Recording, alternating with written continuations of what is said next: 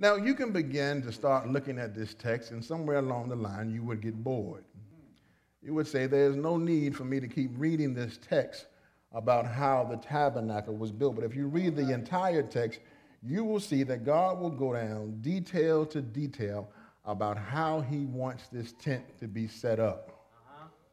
Now, if God can spend this much time in detail, then it's something that we should take notice of.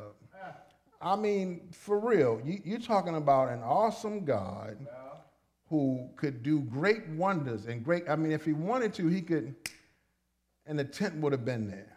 The tabernacle would have been done. He is one who called worlds into existence. Surely he could have just breathed it and it would have happened. But look at this text. He says that you are to make 10 curtains of fine twisted linen. I mean, he's being very specific as to how he want his place to look. Well. So I had to begin to think that, God, if you're that concerned about something like this, that you would give every detail, every corner, every angle, every inch, every square foot of this place was covered by God's uh, uh, uh, design then we got to stop. We got to stop being involved with the big things in life and start looking at the small, the details.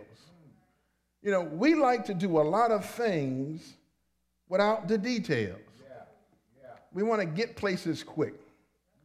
We got prefab stuff already put together, already made. Nobody wants to do the work. Nobody wants to do the process of building. But here, God has incorporated the whole process of building. And you got to understand one thing that if God said it, that's exactly how He wanted it done. Yes, sir.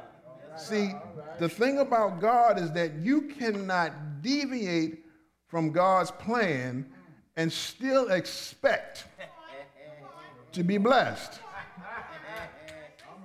If God will take the time to specifically tell you how he wants something done, that means that it is utmost important to him and to you. You need to be, um, you need to feel privileged that he will give you instruction in order to do something. I mean, we, we're talking about an awesome God, a holy God. Yeah. But for him to sit and let man know, excuse me, that this is what I want you to do, hmm. it's a great honor. Yeah. Is it not? Yes, sir. It's a great honor to know that the God who sits high and looks low is concerned about us. Hmm. And it's all in the details. I was looking at this and I'm like, well, you know, what, what difference do it make if it's 10 curtains or nine curtains? It's going to cover the same thing. Yeah. What difference if it's blue or purple or black or white or yellow? Yeah. Long as it gets the job done. Mm-hmm. Right? And that's how we think? Well, I mean, why does it have to be 20 feet exactly? Yeah. Can't it just be 19 and a half? You know, I, I, I, it uh, was shorten my work. Well, you know, why do they have to be gold class? Can't they just be silver or bronze? Well, you know how much gold costs? Well, why do we have to follow your word to its letter?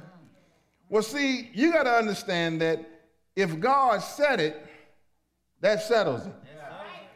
Now, if you deviate from what God says, in this particular time, God was what? Destroying folk. See, you didn't have an option to deviate from what God told you. If you did not do exactly as He prescribed, He would kill you. Say that again, Preston. All right. All right. I mean, here we have the, the tabernacle being set up. We have the Holy of Holies, the Most Holy, and you had certain levels to get in before you could get to the Holy of Holies. And if you got there before going through the process, stopping at the brazen altar, and you were still unclean, you weren't going to make it to the next level without being pulled back out.